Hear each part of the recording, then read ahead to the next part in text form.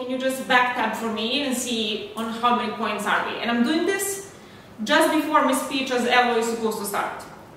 Uh, and I'm, I'm done with I'm done with my speech and I pick up my phone and I see that he told me, oh, you're probably either on 12 or on 13, which means basically that even if we win the room, we're most likely dead for ESL break. Uh, however, the fact that I didn't know at the time was that Stefan Sirjansky was in Colombia. He was basically chilling there, having lots of fun, not caring about me backtabbing, and he backed up completely wrong. Can be a voice against sexism or against uh, any kind of unfair or unequal treatment that, that you face. So I think this is also quite important. However, we get too cocky, and in CO, we try and have, I think, around four arguments, literally four arguments.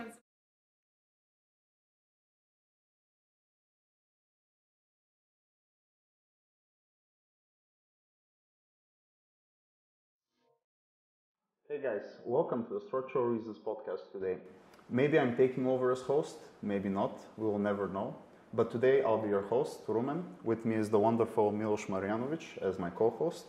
And uh, today we'll be interviewing, thank you for, co- for coming, Marta, uh, here in Belgrade.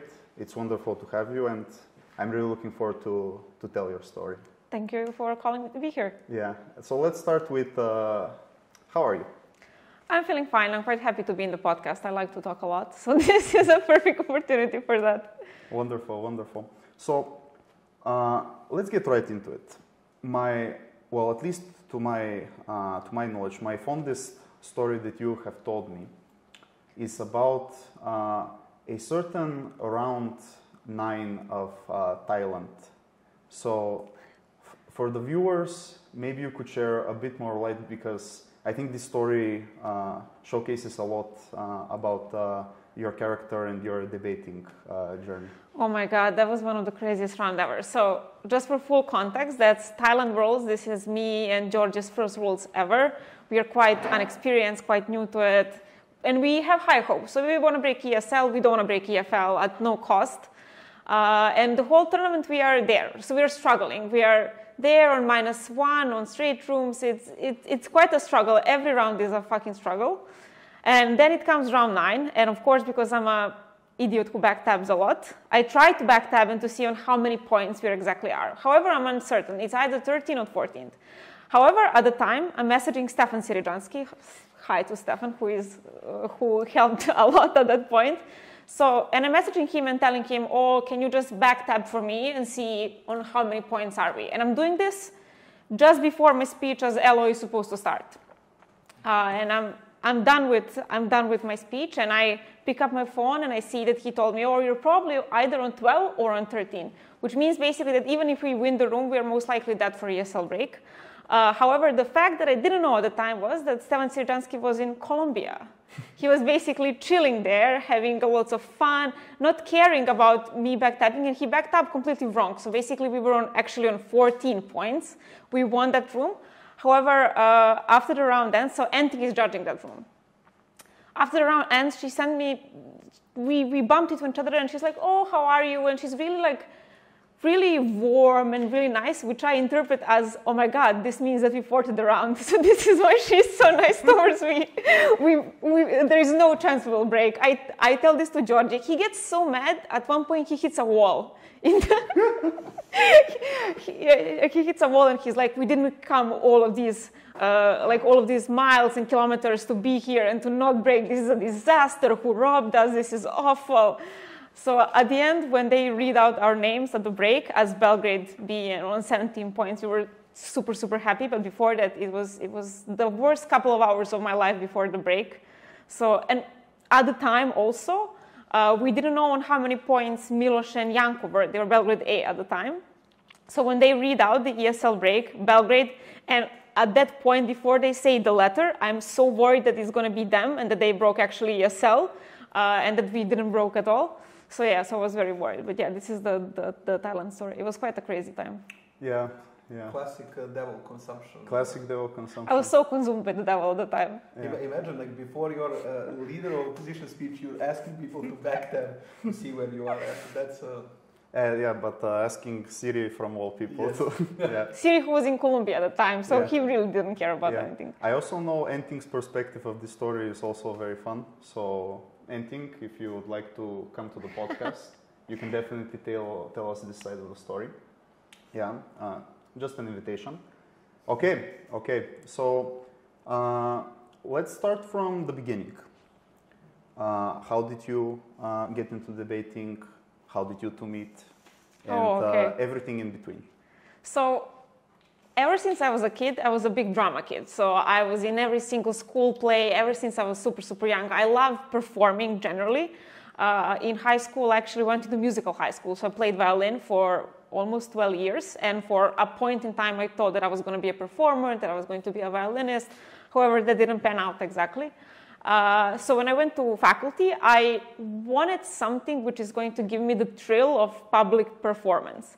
Uh, one small thing at the time, I had terrible issues with stuttering. I was stuttering a lot, specifically if the situation is high stress. I stuttered like an insane person. Uh, so when I saw debating, when I saw the poster for debating, the poster had the head of Donald Trump, and the motion was something about we regret the rise of authoritarian leaders, something like that.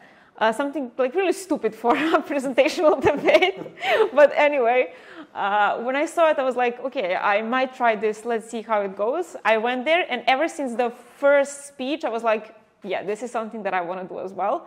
So comes the first workshop. They put us to work uh, alone to make an argument, and I got so much into it. I could only speak for around 50 50 seconds. I didn't even make a full speech because I was stuttering so much. But I just loved it from the get go the thrill, the adrenaline, everything was really on spot for me. So that was back in 2015. So this was my first year of faculty. And then the next year, uh, I go to my second tournament ever. So it's, it's called Monopol. It's because it's hosted on the Faculty of Economics. So it's called Monopol. And first round, I meet Janko. Second, or second or the third round, I think third round is I meet Milos in a debate. He is CEO, we are OO. He reveals his extension in a POI, and I am a DLO, and I'm like, yes, I'm going to try and take his extension. I was unable to do it. I unable to do it. I, I tried really hard. Uh, but yeah, this is how we met. When we met for the first time in that round, my only impression of Milos was like, oh my god, this guy talks like a radio host. he should have his radio host show. Uh, so the way that he spoke was really kind of interesting to me, but I didn't thought a lot about it. So actually, the time where we spoke spoke for the first time was a couple of months later at the Belgrade Open, which was like my first international tournament ever. I was also quite new. We actually were doing quite well at the tournament. We didn't break in the end, but we were quite close. Uh, but yeah, this is the first time that I ever spoke with Milos, and I was like, oh, this is a cool guy. No, I, I, I remember I just heard about Marta. I heard of Marta. Uh, she was like a talented novice uh, that they told me about, and it was a top room. Like a, a monopole, uh, just to just just for people to understand, you have in Serbia you have the, the, the path of first tournament in December is purely novices, just novices. Uh, and uh, it's a very good thing to, to start off the uh, how do you say people who debated less than three or six months or whatever. Uh, uh, and then a monopole is the next big step, which is you merge the intermediary course and the beginner's course. So uh, people who debate one year and people who debate just now. And we were at that time intermediary. Me, Janko, Isis, and oh no, these people. So we were all like very cocky. We are gonna like like we, we are the favorites. Like you, you always you always feel a lot of pressure and cockiness uh, when you are the, the, the second year in, in, in. And I remember reaching the top room and like seeing who is there. And like I know Janko and Isis are the biggest threat. And I'm like I need to ask them a POI. Like this uh, like like I have to engage with them, especially because my extension was reliant on some alternative, weird alternative. Or something. Listen, I'm like. I've heard this girl is talented. Will she steal my extension? But I have to go with it. So, so I, I didn't bet believe that in she me. will. I, I, I bet that she will not take uh, take my extension, and I was uh, I was correct. but she was she was very good. She was very good. Fair enough, fair enough. But honestly, this uh, for the viewers, this system is uh, very good uh, in terms of novices, intermediaries. So uh, maybe we could uh, discuss it a little bit more. But let's get into more interesting things. So, in the beginning, you mentioned stuttering. Uh, what other problems did you like face, or not problems, but challenges that uh, you deemed, I assume, like important for your debate journey? So stuttering is probably the biggest challenge, specifically when we started debating in English. I stuttered so much; that was really a huge challenge for me. But I was able to overcome it by watching other speakers who also struggle with it a lot. For example, uh, I watch a lot of speeches from Ayal. Ayal also, now he doesn't have that issue of stuttering, but back in the day, you can see that he was also struggling with it at the time. And seeing him actually being super good, even though he was stuttering at times, also gave me the encouragement and also gave me the confidence that also I can be that good, even though I have this issue at the time. Uh, with the time and with experience, I was able to overcome it, so now I don't stutter. But this was the first issue. Second issue is by nature, I'm a really anxious person. I don't handle high stress situations very well, specifically when they involve public performance. Even though I like to do it, the upside is they make me really anxious, really uncomfortable. So this is something which I struggle a lot. For example, Novi Sad UDC, this was my second UDC in 2018. So comes round nine, and I know by backtabbing again, because I'm a weird person who likes to backtab, even though obviously it's not good for me.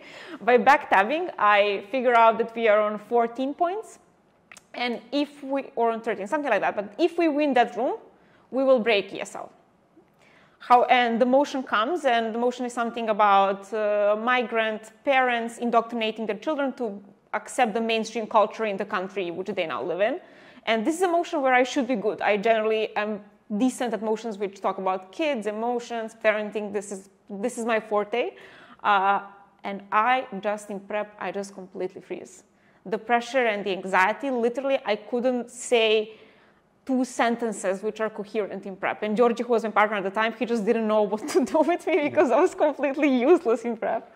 Uh, but yeah, the, the devil of anxiety consumed me at the time. So this was the second thing which I struggle a lot. Generally, anxiety, having troubles to believe that actually I'm good enough to break or to go to quarters or to go to semi. And I think this is something which kind of has followed me ever since then. I don't think I've ever overcame this as much as I overcame stuttering. So this is something which is a continuous struggle for me. It was a continuous struggle also at Belgrade Worlds for me. It just happens at a later period. Every tournament I get a, a bit more self-confident, but this still is an issue which I kind of have to struggle with. But you see a large improvement, I think, like from following the journey, uh, like because me and Marta were together from uh, from your first uh, from yeah. your first Euros or something like this. You can see a tremendous improvement in this, and, and, the important thing is when we talked about, I think you you you kind of uh, worked on it deliberately. You were thinking about it deliberately, which is very important. About uh, what the things you need to overcome. You did not uh, fall under yourself. You you, you actually uh, found ways to, to, to, to combat this. And I think like let's say let's say if you compare Ox, let's say Oxford last year versus, mm-hmm. versus then, like you can see huge difference in confidence and everything from at least the from me obser- observational perspective. So this is like one thing about me. I don't give up. Like even though i don't know how to overcome all of my demons i will not give up for the life of me. I will continue to work on it and i, I will be there. Because i think at one point i thought about quitting debating at all especially after novi sad when we didn't break. I was really depressed. I really thought that this is the end for me that i'm going to quit it but then i realized that i'm in this too deep hmm. I, I, have dedicated too much time for this in order for me to back down now. And if I were to back down at that point, I think I would always think of me as a failure or someone who, at the first challenge, decided to give up and I didn't overcome it. So I decided to stay there and to continue grinding until I actually got to a point where I felt I was confident enough and at the point where I had some successes that can back that up. So, so let's get into this more deeply and thoroughly. I think many people, and when I say this, I really think upwards of 80%, maybe more, of debaters, even if they admit it or not, face this issue uh, to a huge extent. So, can you get into maybe some of the highlights, examples, thought processes in a linear way to describe and explain how you improved, overcame uh, this particular thing? Because to be honest, not breaking at Euros and the performance that you had at the uh, uh, majors that followed is uh, a huge like delta in this case? So I, I don't think that I have like a cure. The thing which I think helps is exposure therapy. So this is one of the, for example, in CBT, in cognitive behavior therapy, the way that you overcome your anxieties is by trying to expose yourself to the thing which makes you anxious, but a bit at a time. So I just went to many tournaments. I just went to many spars. Uh, and at one point, I just had an honest conversation with myself, and I was like, "You can't do this. You just need to be persistent." Also, it was really beneficial that I had Milos to kind of help me to say, "Okay, you're good enough. I believe in you." And it was really. It, it also I got huge amount of support in the whole Serbian community. So from people who coached me, from Ilya, from Janko, from other people, everyone was always really believing in me and always telling me that I'm talented, that I'm good. This also is something which, you, which helps tremendously. You need to have a good support network, I think. This is why I think it's easy to be good. It, it's easy to be a good debater in Serbia or, for example, in Israel, because these are the places which have very strong communities, which are there to kind of pick you up when you have doubts. So, yeah, this is something which I think helps a lot. Uh, but then just exposing yourself to as many rounds, as many tournaments, and that at one point you just realize that a loss doesn't make you stupid or doesn't make you a bad debater. A loss is just a loss. This is just a game. Someone once told me that winning debating is like winning Mario Kart, like Mario Kart games. It is important when you play it, but other, but outside of it, it's not that consequential on your life. You will still have a job, a family, your friends, regardless of how you do at a specific tournament. So I think also this perspective kind of helps a lot. Uh, this is why I think debating can actually be tremendous for self confidence. Even if you maybe don't become a world champion, like I didn't, I, I don't think I'm even in the top 20% of people, like based on their uh, achievements. But I think that just like small improvements that you can see in yourself, this is something which can translate to the rest of your life, and you can basically take that confidence and take it uh, on your job, on other areas of your life. So yeah, this is something which I think helps. But I, I also think that uh, um, as a community, what Marta said, you can help and support and grow the debaters, which I think is very under underrated thing that people are not not considering when they're coaching and when they're doing a lot of stuff. So, for example, when Marta was coaching last year intermediary course, which was her and Georgie were coaching intermediary course. This was one of the best intermediary course that we had. The main reason why it was very good is because they also spent a lot of time talking to the kids on a psychological level about their mental game, about everything, right? Because if you only talk about uh, like argumentation and all these things, which is important, they need to learn these skills, but you neglect the fact that they have these anxieties, fears, and stuff. This is this is problem, and I think uh, Marta, from her experience, was able to uh, to pass this on to the younger generation because of this, and uh, I mean, simultaneously, like I think, I think this is a thing that people should pick up, uh, should pick up and start to do with their societies. Not necessarily, don't get me wrong. It's not just validation. It's not just telling them, "Ah, oh, you're great." It's it's not. It's sometimes giving them a harsh reality. Sometimes telling them you need to step it up. It's it's not. Uh, uh you, yeah. you, know what I mean. I, I, think this is something which Harish told me before this year's Worlds. He's like, the mindset that you should have is you're good, but you can always be better. Mm-hmm. And the fact that now you don't see yourself as particularly good doesn't matter. This is just your starting point. And you can become good if you put in a lot of work, if you actually put in a lot of thought. This is something which is possible for everyone who is in debating. I don't think I've ever seen a person in debating for which I would say this person is doomed. There is never mm-hmm. one in a million chance that they will never succeed in debating. Debating is like a game. If you learn the rules, uh, and if you are diligent in practicing, you will become good. Like this is something which inevitably will come. I think the hurdle which people have and the hurdle which I have is the progress isn't always linear. Mm-hmm. So the progress doesn't always come. So I put in X amount of hours, I will become X good. No, the when you're at the starting level, your progress is much more upwards. It's, it's easy to progress from averaging 74 to averaging 78. Of course, it takes a lot of work, but this is something which is easier to do. Jumping from averaging 78 to averaging 80 or 81, this is something which is tough. And I think it, it is actually much tougher than uh, picking up on the lower levels. Like specifically since debating, I think has become much better in the mid tier. So mid tier of debating is now, I think, much better than it was a couple of years ago. I think the top has become much more achievable than it maybe was before when we had great stars. Uh, but anyway, I think this is something which people struggle with. Like success isn't linear, and it it takes uh, it, it takes energy to understand this and to overcome it. I I don't want to like go a bit to the side with this, but I just really really want to ask one question. So the reality is uh, our communities are actually maybe second best in the world. I don't know. I haven't been to that many, but the truth is, you know, Croatia, Serbia, Bulgaria, uh, we're fairly close. We can at any time like call each other up.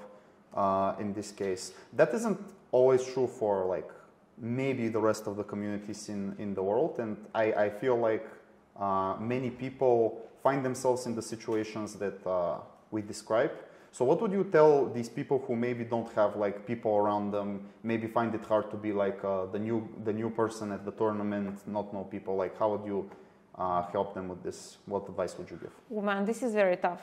Uh, it's really tough, like going to international tournaments when you don't have a community which will be there to, to support you. What I saw, I think most people are actually kinder than you might think. Mm-hmm. So I think a lot of people actually will be there to support you, to give advice, even if they do not know you that well. It just takes courage to actually go and ask them for advice, uh, to strike up a conversation, to ask. I think people often trash on debating, how debating is stratified within castes, and people who are very, very good at debating only hang out with other people who are very good, and then debating becomes this very rappy game. Uh, but I think that actually most people are nice, and they will be nice towards you if you show them kindness and if you're actually interested in them.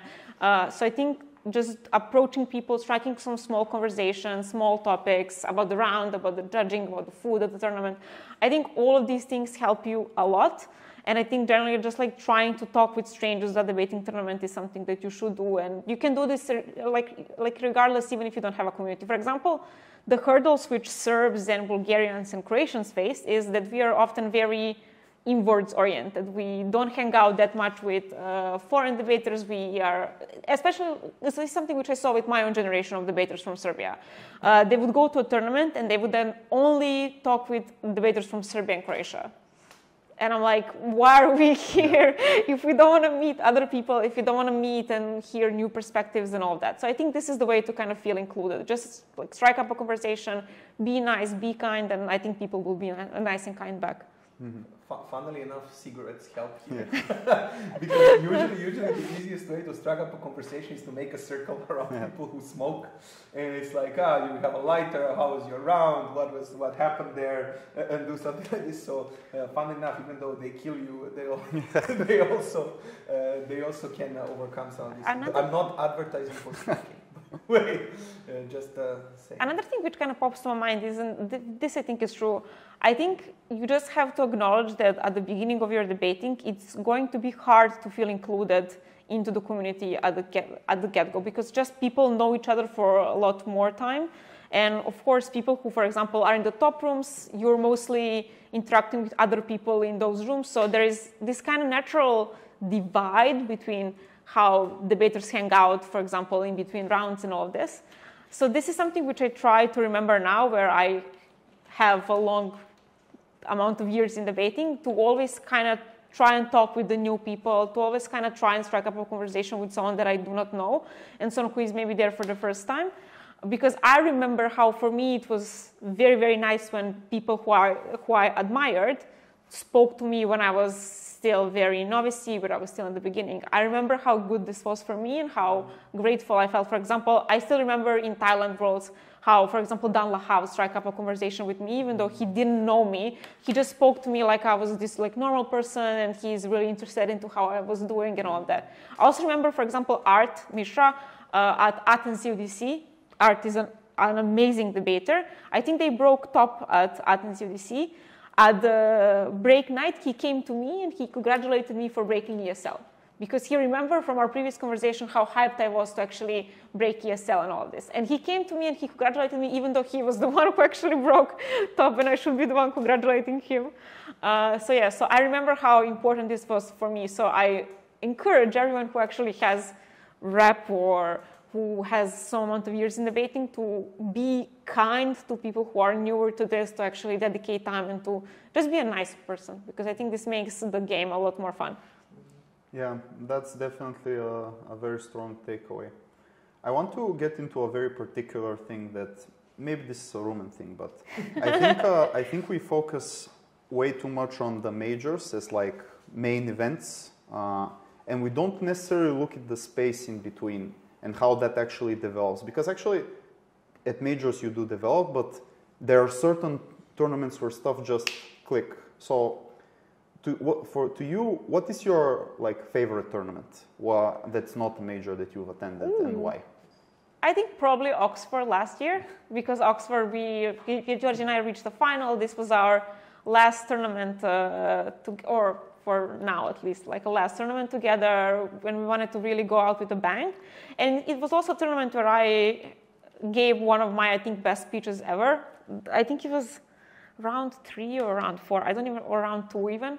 The motion was something about normalizing talking about sex everywhere, and uh, we were OG. And naturally, I'm an incredibly conservative person. Like I really like talking about sex. Really not my forte. I'm really conservative, like regarding this. Uh, however, just because I was put in a position to actually defend this made me so passionate about this cause. And I think I went and I, I, think this was probably my best speech ever. I'm very sorry that it was like recorded, but I really went into full mode, like fully like liberal, fully open, fully talking about why the world where this was a norm would be so much better. I was so convinced. I knew that I had it. Like I knew that the chakra, the debating chakra in me was very strong at the time. Uh, so yeah, probably this was the tournament where I did one of my best speeches, and it was also a tournament where I think I felt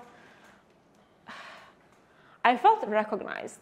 So I think this is something which was all, like always very important for me. Not only for me to believe that I'm good, but to see that other people who are not my close friends also see me as good. And I think at Oxford, I really felt like other people were also acknowledging me as a good enough debater. And I think this is the tournament where I felt the strongest uh, so this is why I think it will be one of my favorite tournaments ever.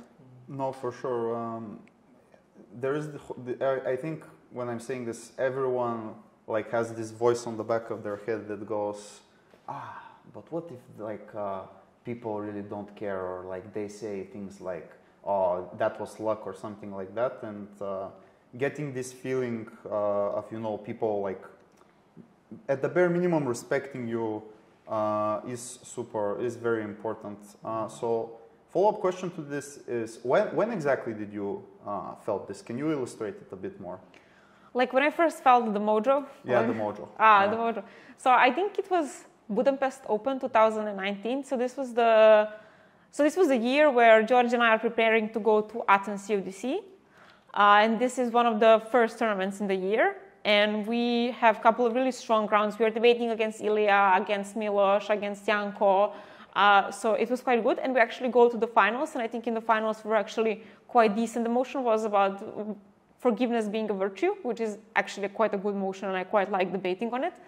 Uh, so yeah, I think this was a tournament where I actually felt first time that I can actually be good at this. We, we as a team are actually good at this. And I think this is something which gave me a lot of confidence, but also it was Janko Milos Ilya also telling us, "So, guys, you did quite well here." So I felt like I was again like recognized, and I think this is something which is like a feedback loop.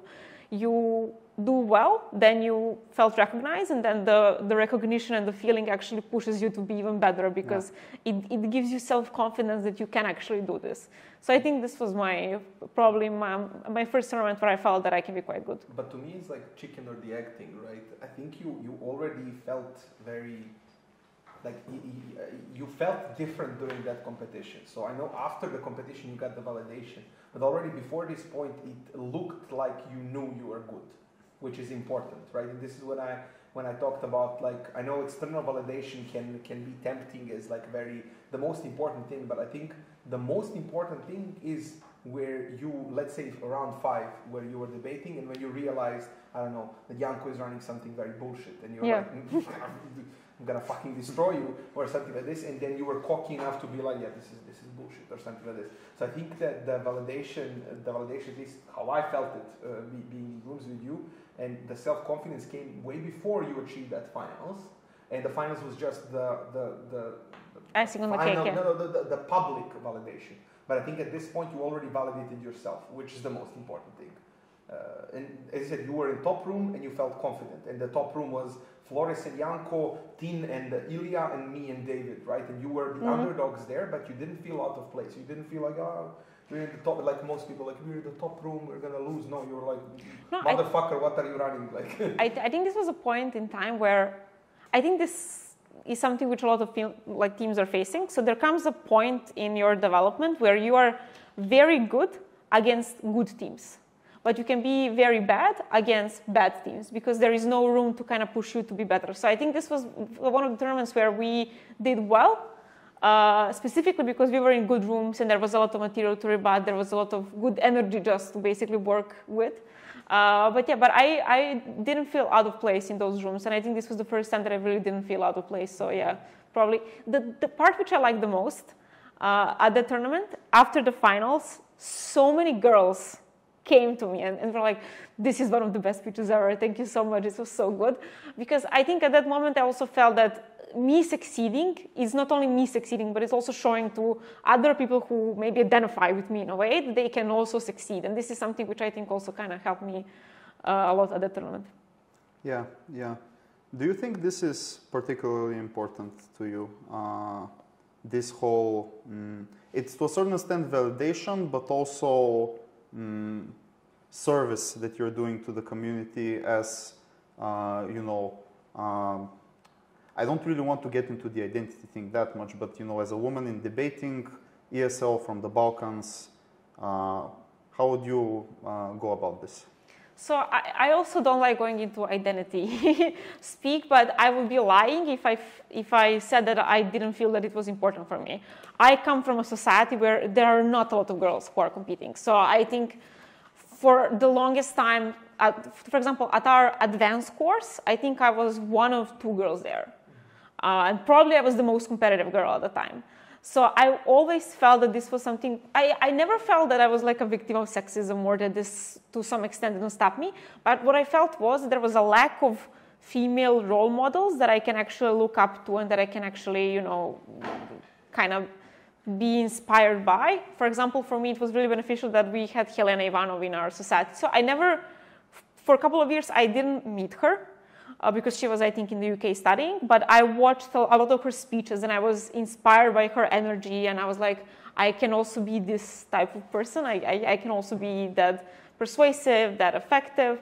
Uh, but it, it is important for me, specifically now when I uh, host the intermediary course and when I see a lot of girls there, I see a difference. And what we kind of figured out in the Serbian community, really there is a difference if the course is taught by a female coach.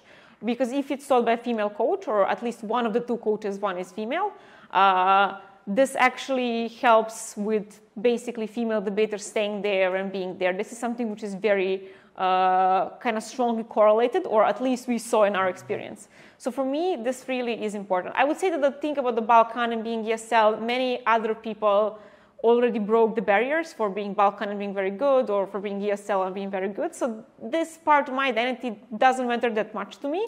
But being female debater from the Balkans, this is something which is important for me, uh, specifically because Serbia is still kind of conservative society where it is not that common to see a very opinionated or a very well spoken female public figure. This doesn't happen that often.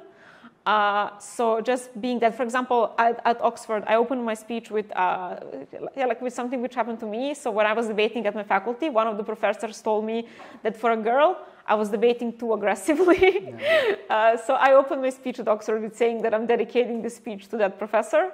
Uh, like shout out for him if he ever watches this. That was a really sexist thing to say.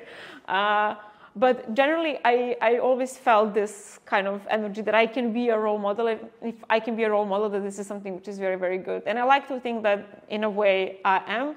I don't want to overstate my influence, but I think that for me, this part of my identity is important because I wanted to prove not only to me, but also to everyone else who kind of doubts in themselves or thinks that they are not good, that they can actually be quite good. No, but that's a, like just to reiterate, that is huge, right? like uh, that, that's what we realized. Like uh, like we realized pretty early on that uh, like it's a Balkan sausage fest Yeah, in yeah. this sort of situation. Super important. Super important to have a female CA team, a female on the CA team, and that's what we implemented very early on. Very early on, like you, you need to have you need to have a female team, and very important, if at all possible, for the course to be to be coached uh, by this. Th- This might sound like uh, I don't know, like uh, it's not quotas. Like these people deserve it, and that's how you should that's how you should perceive it. Because like you do pick uh, in, in any other random way, but it's very important for, for, for, for women. For example, this intermediary course has the, the record number of women Mhm. uh, for us, which is like huge, uh, huge for Serbia in that sense. And Marta, like like having a like having a strong speaker, let's say for Danny Crane now in the final, or in Kragujevac Open, or some somebody like having somebody who is like passionate, uh, angry, strong, or something like this. And then giving courage to like I don't know high school girls uh, who feel that people will judge them if they feel uh, if they if they if they if they feel this role, and then Marta, like a small person, like being very loud and being very big in this uh, in this regard, uh, is super important from my perspective. To be fair, I think there is a debate about whether and then how do we come to the position where there are so many boys in debating and not that many females actually. Uh, if I was to go to the Jordan Peterson route, I would probably say that there is some evolutionary biology here as well. There are research which shows that competitiveness is something which is correlated with higher testosterone, so that maybe this like evolutionary biology also points out to why maybe there is bit more men in debating than females, and I think maybe we are being also socialized as girls to not value competitiveness that much, to value much more collaborative work and working together and creating harmony and not being super competitive. So I'm not sure if we will ever get to a position where we are completely uh, completely equal in debating in terms of there is an equal amount of girls and boys in debating. But I think that by having strong female uh, like role models, I think this is something which helps a lot, especially if you can be a voice against sexism or against uh, any kind of unfair or unequal treatment that, it, that you face. So I think this is also quite important. So I want to go a bit deeper into this. Uh, I'll try to do something that I usually don't do. I'll try to be nuanced, but at the same time, I'll try to play devil's advocate for a second. Hope this doesn't cancel me. Uh, so we talked about one side of the issue, which is obviously true. Empirically, you know, there aren't that many uh, women speakers. There are societies where men are, uh, to a large extent, there. Uh, it is true. Like you have to be blind, deaf to not see this uh, particular thing. There is, however, the other side of the coin, which is that if, or at least this is how I feel, if we talk about sexism uh, too much, uh, like if we overstate it, it is very easy for like uh, I feel for girls to think that this is a rigged game, they have no chance, and that in fact uh, like there isn't that much that they uh, that they can do, or at least it's easier for them to like opt into this path of least resistance, for lack of a better word, uh, when we talk about this. So, do you think there is a way to achieve a balance when we're addressing this issue and at the same time we're not discouraging people from participating? Well, yeah, I think there needs to be a balance, specifically because I think that out of all of the people in the world, debaters are probably best positioned to not be sexist. You have like university students who are often very like liberal, who are well educated. This isn't your typical sexist group of people, even though of course sexism can uh, uh, spill in even here. But I think that we shouldn't overfocus on the negatives that you face as a female speaker. Of course, some judges might find you less persuasive. Of course, some male speakers might underestimate you or might trash you in their speech or might not take you seriously. But I think that generally the game isn't that rigged. And I generally think that we should focus on what you individually can do to become better and to overcome these things, and not inherently talking about, oh, the system is flawed, we can do nothing to change the system. Because if you talk a lot about like generic sexism, which of course exists to some extent in debating, and it has existed much more in the past, I've heard some awful stories that people faced, for example, 10 or 15 years ago. Uh, but I generally think that we shouldn't over focus on this. I generally, I, I'm, I'm an, like a libertarian, so I always focus on what you as an individual can do to stop these things or to address it or to uh, attack them very openly and not over focus on, oh, the game is rigged, there is nothing that you can do, this is awful. I don't think that this helps anyone. I also, for example, think that even quotas on roles do not help a lot. I think many societies struggle with generally sending a delegation to roles, and I think adding these stringent requirements that you need to send X amount of girls often can be quite quite bad, and it, I think it can often be quite negative in the sense of someone feeling that they are selected on the team just because of their gender, not because mm. they're actually good. I think these things do not help.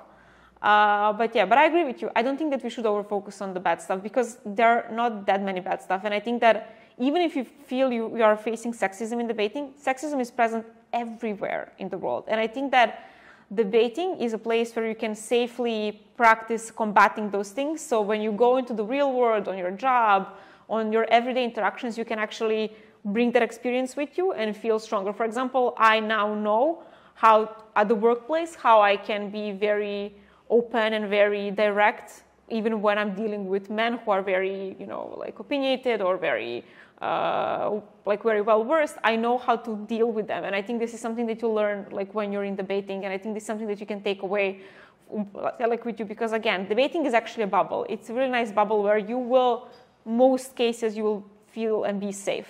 The world isn't a safe space, and I think that from debating you can actually practice some of the skills to combat them in the real world. Fair enough.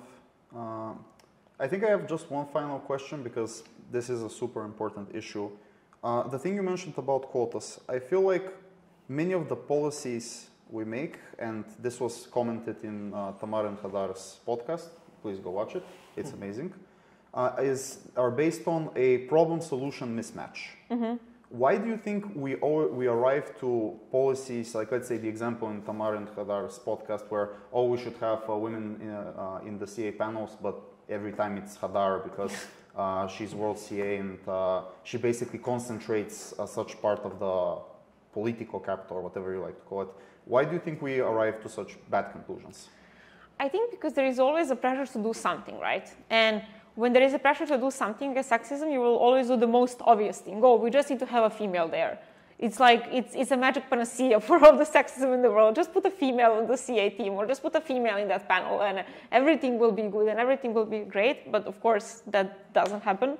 Uh, so I, I'm not sure why we come to those conclusions. I think it's just like there is always a pressure to do something, and I think that this pressure pushes you to do the most obvious thing, which might not always be the best. To be fair and to play the, the devil's advocate, uh, I think it's important to have females in the CA team, to have females in the judging panels. Uh, like I, I think this is generally important, and I think it can push. Uh, I, I, think it can push the discussion in the right way. I think it can help you from setting some awful motions, which actually can be very sexist or something like that. Uh, but it's not a panacea, and anyone who says that it is basically doesn't know what they're talking about. Yeah, but it's also a pressure to solve something that is unsolvable, mm. right? Like, like we, people are very tough to admit that we just cannot solve something. Like it's out of our control. And this was the discussion. I was actually present when the, the quotas were being announced. Uh, a lot of the things, like a lot of the complaining about this, is you're putting a burden on debating society to fix the whole society right? Like the fact that there is less women in like a Balkan country, uh, often, like of course debating can improve, but often doesn't have as much to do with debating itself. It has much to do with Serbia as a country or something like this. And I, think uh, people just don't want to admit that, say, we just don't have a fucking solution. We don't have a solution for every problem and then uh, we have a bias to action in this sort of situation. It's better to do something to wash our hands uh, to some extent. I will say one final thing, um, and it will be connected to what you said. Uh, but before that, the way I uh, debated, and I think we are, you and I, we're one generation. That, that's how I feel. The same mm-hmm. way as. I hear, feel, for example, with Naomi, the same way as I feel, for example, with uh, Hadar and Tamar. I've never in any moment like looked at you guys as female debater. Mm-hmm. I've looked at you as an opponent that I respect, and I really, really, uh, I really want to beat. Now, maybe that to a certain extent made me negligent to the problem. Like, I, if I have to be honest, unless people talked so much about this, I wouldn't really think about it. But that's because I personally like to believe that I'm not a sexist judge, I'm not a sexist debater or something like that. I could be wrong, always good to check yourself. But what I will say is that in many of these cases, I think the people who push these type of things uh, don't necessarily like it's like the minority argument. They have other intentions that they're trying to pursue. Yeah, like in the minority argument case, you're trying to win by just saying, "Oh, most vulnerable minority." In this case, maybe they're looking for some kind of positions in debating. It's possible, uh, rather than actually thinking about uh, how to concretely address uh, this issue, which I think, uh, if, if it's a main takeaway of this discussion, it's good for us to be to think of this more thoroughly, more complex, and in certain cases admit, you know, we can't we can't solve it, uh, rather than you know just treating it as like the minority argument in the debate. Uh, yeah, but let's leave this here and get into more interesting things. So, you mentioned Novi Sad. Uh, you didn't break. Uh, there was this whole situation in, with the round nine, uh, but you did uh, end up breaking at Athens.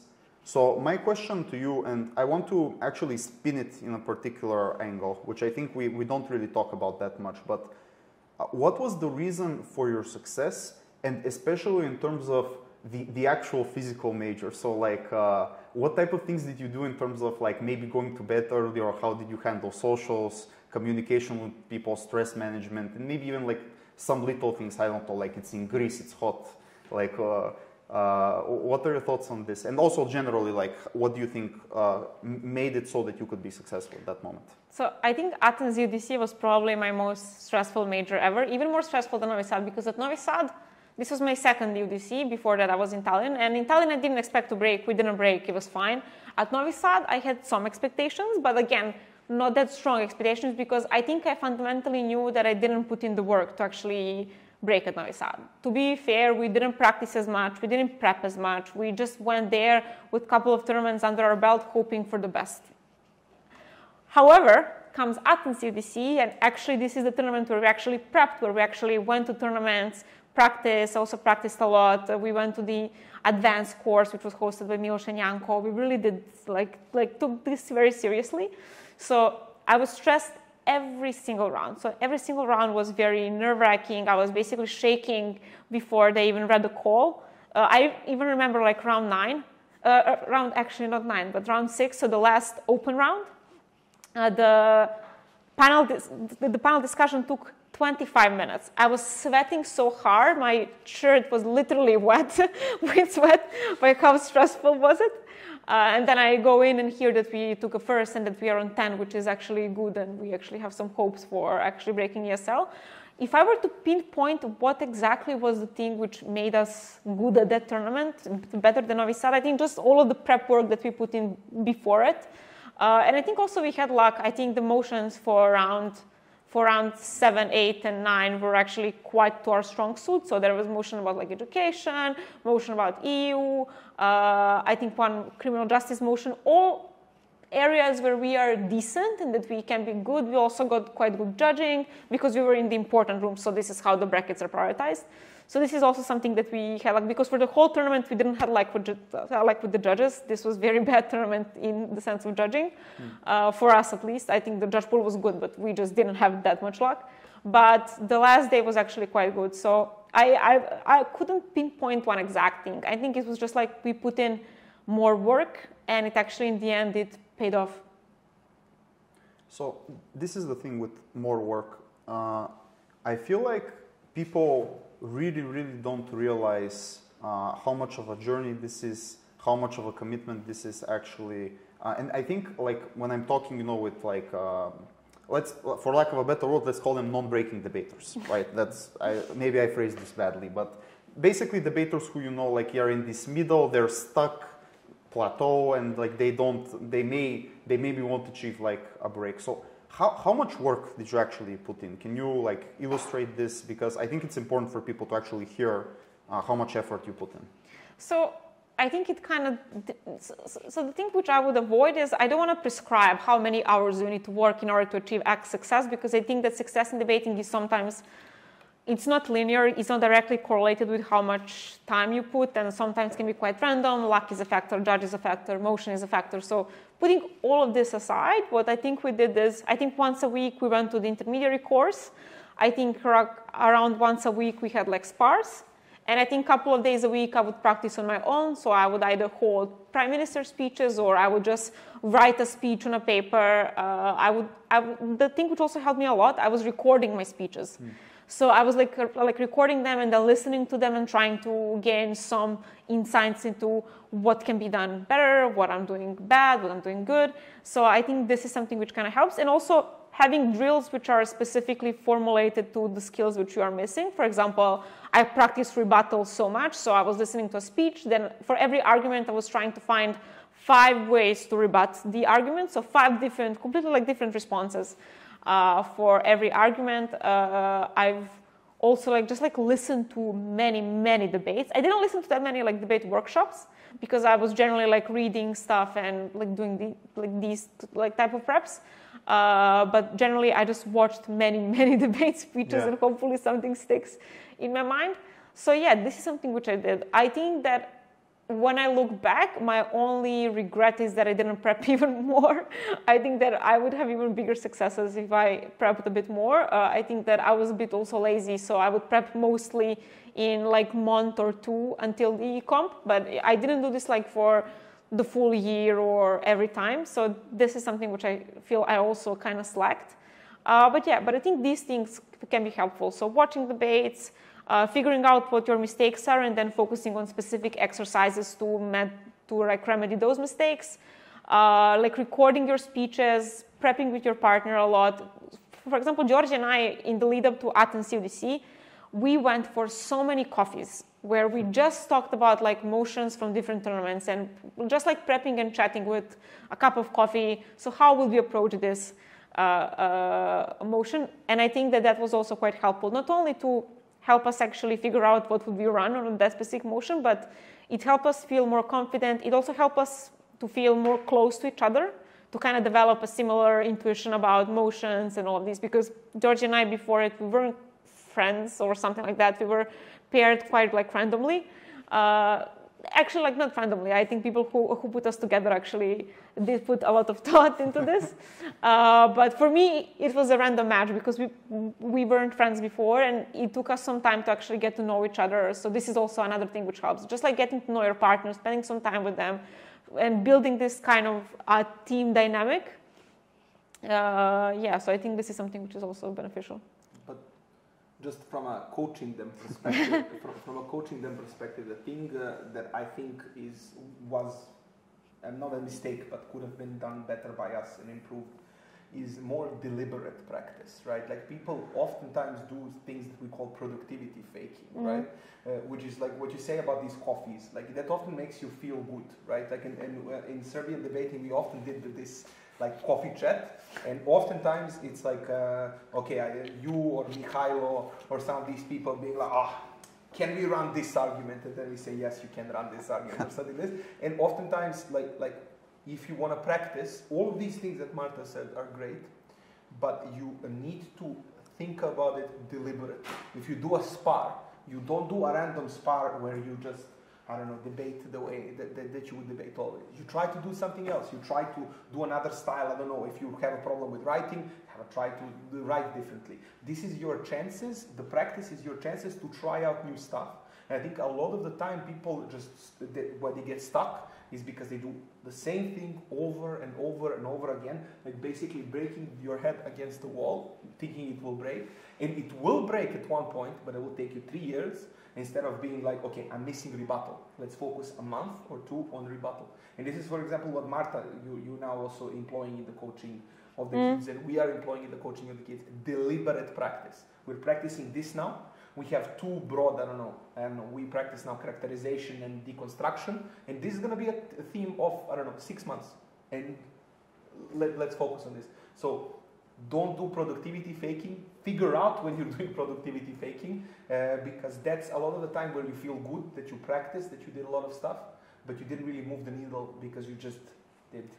I think this is something that I did a lot. I did a lot of productivity faking. I was watching many debates. I was doing some exercises, but I was not actually thinking deliberately about them. I just wanted to, so I had like a score. I just wanted to tick off this day, or I practiced debating this day, and I didn't actually thought about what actually did I do? Was it actually productive?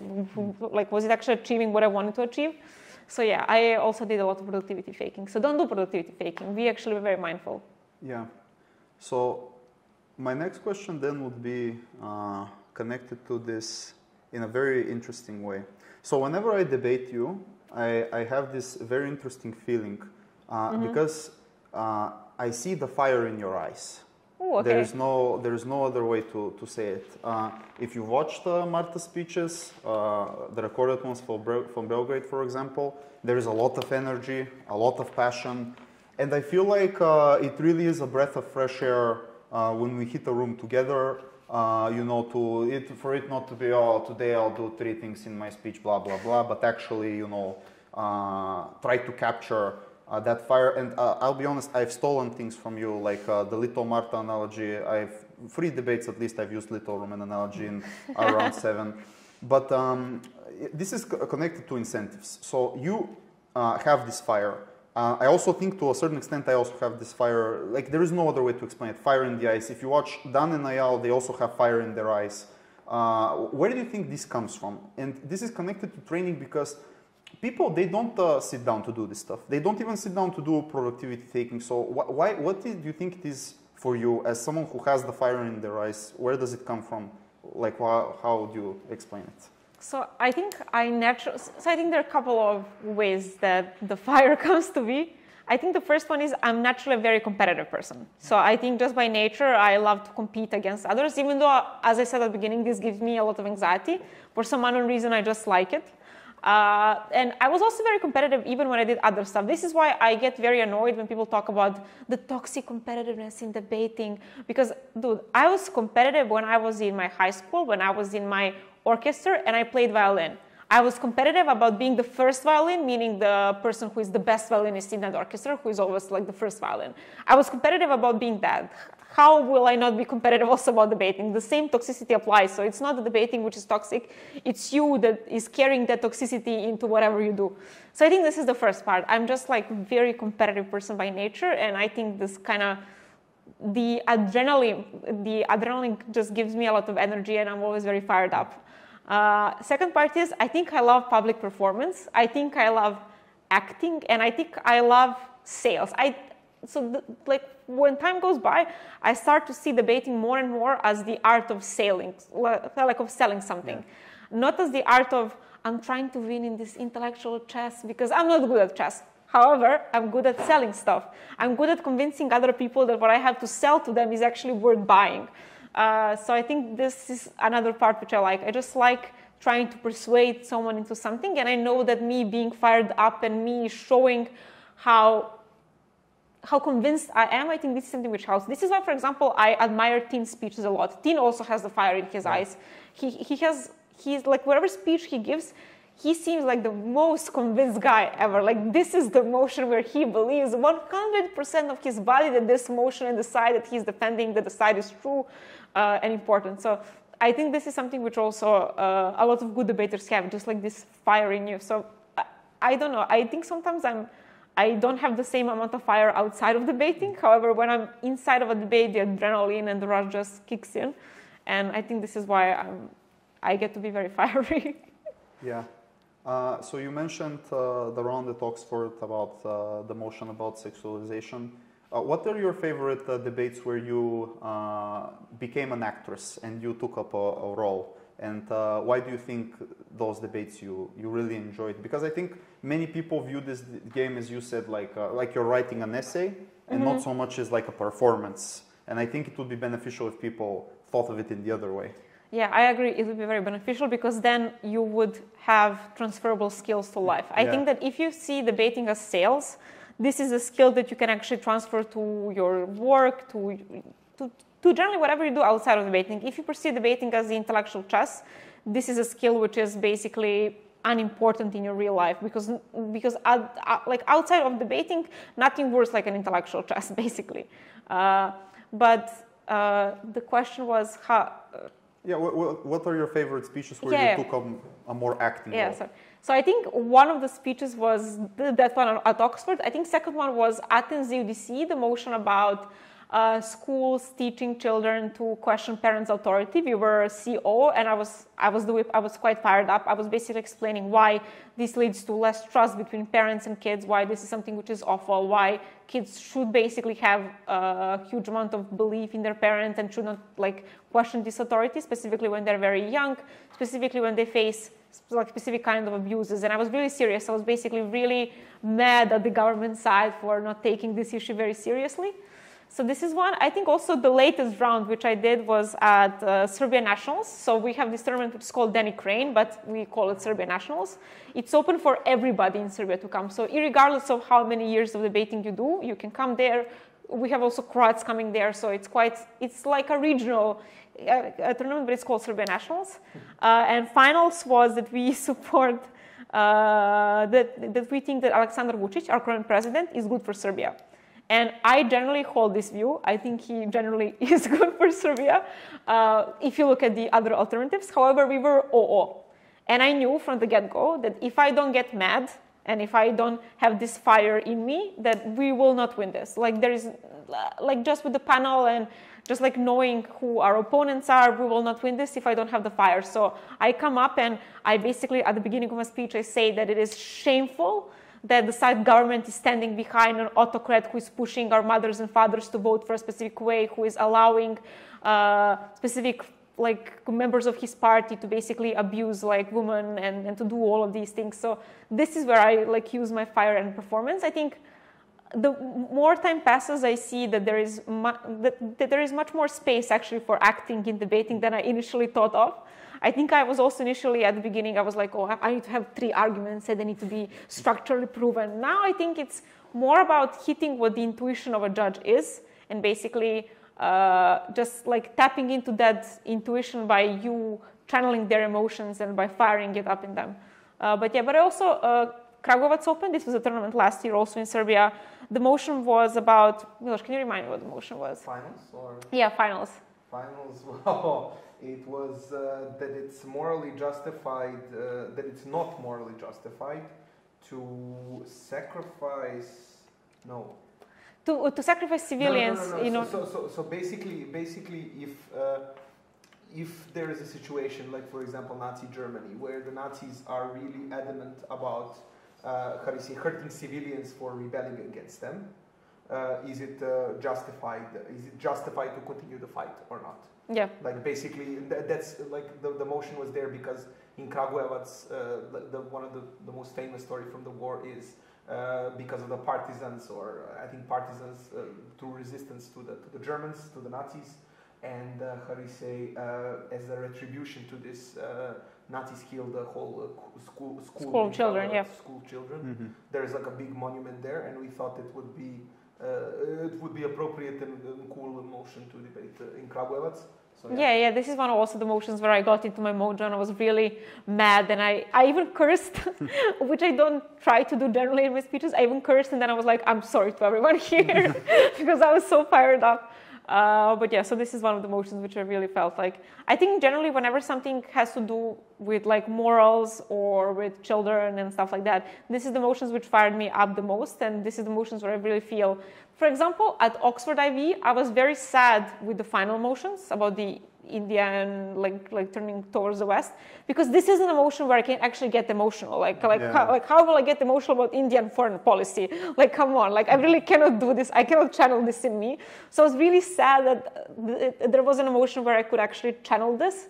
Uh, but yeah, like generally, I think these are some of my favorite rounds.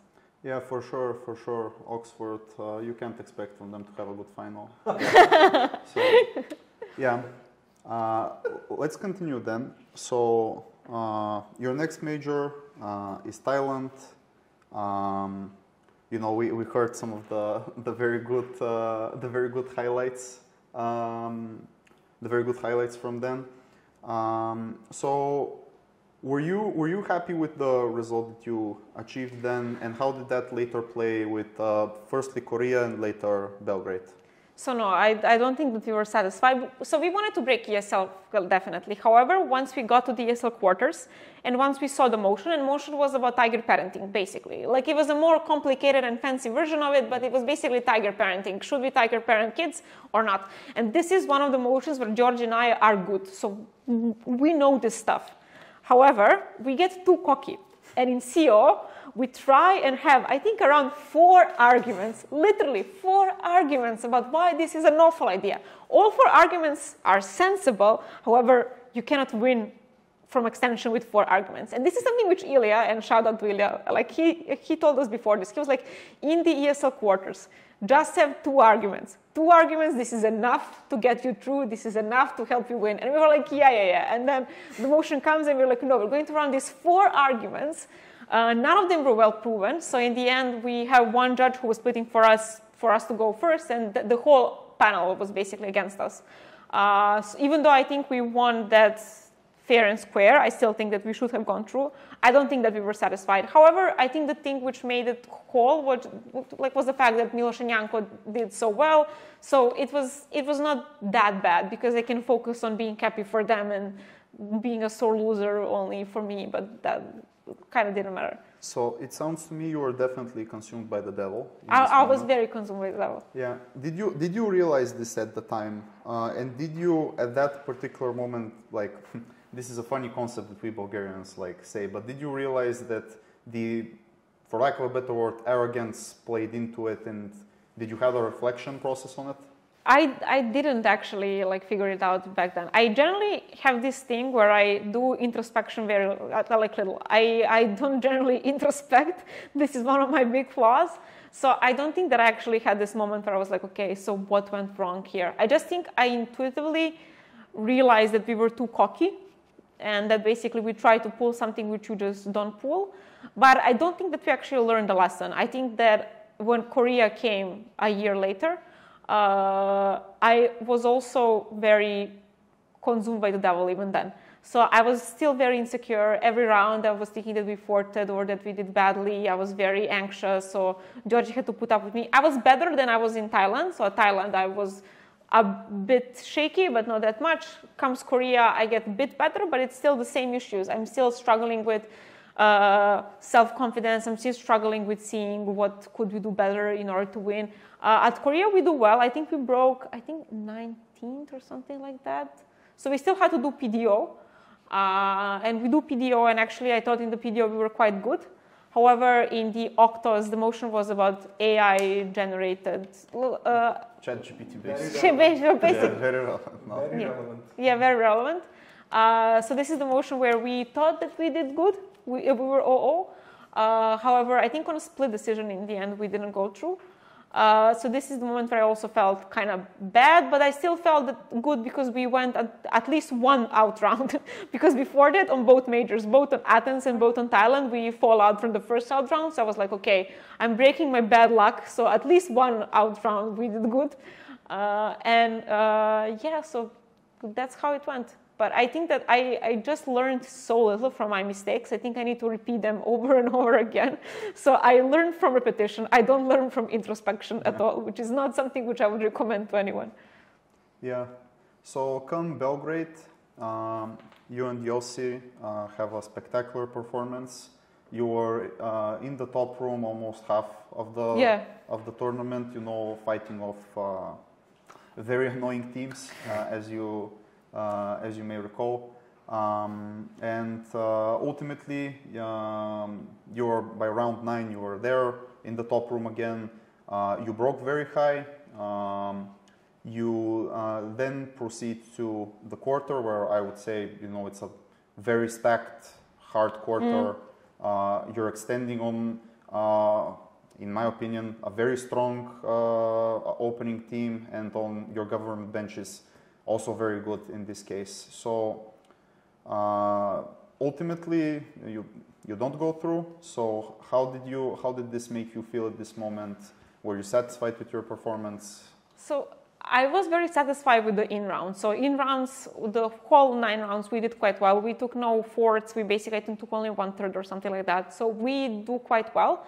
However, parallel, so, so my side of the story is parallel with actually debating at Worlds, I was a DCA of the upcoming Euros. And because Matt Hazel maybe can attest to this, we weren't that good with preparing the motions in advance. Almost every day after our rounds, I had to go on motion calls. Mm-hmm. So before the quarterfinals, we have a very tense motion call uh, where basically it, it, took almost three or four hours. It was really intense. It, I really wasn't happy with the motions that we approved. I was really unsatisfied. So this really put me in a very, very, very bad mood before the quarters.